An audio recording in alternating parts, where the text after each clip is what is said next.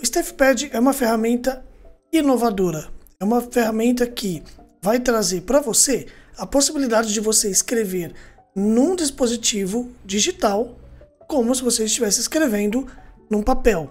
É lógico que a escrita não vai ser extremamente natural, assim como você escreve no papel, em que você consegue, é, por exemplo, fazer um desenho ou um rabisco com o lápis e logo apagar ali e, enfim, apontar o lápis. Então, toda aquela sensação de papel e caneta, ela não vai ser exata, mas ela vai ser muito mais próxima do que quando você escreve, por exemplo, partitura num, num, num Doric, ou no Finale, ou no Sibelius, ou até mesmo no MuseScore. Então, qual é o grande diferencial do StaffPad? Ele é uma ferramenta para escrita à mão. E também o foco dele é em criação. Ele não tem o foco como um editor de partituras. Então ele não vai editar a partitura.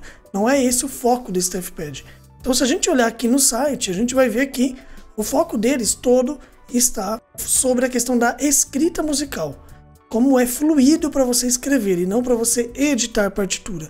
Esse é um ponto que eu sempre vou tratar aqui no curso, ok? Então, se a gente dá uma olhadinha no site, a gente vai ver que o primeiro, a primeira coisa que é importante que eles vão é, pontuar é justamente o reconhecimento de escrita à mão, ok? E aí tem alguns recursos que a gente vai ver no curso, como eu já falei na apresentação do curso, que são as faixas de áudio, que são também as possibilidades de você fazer transposições e fazer manipulação do material escrito.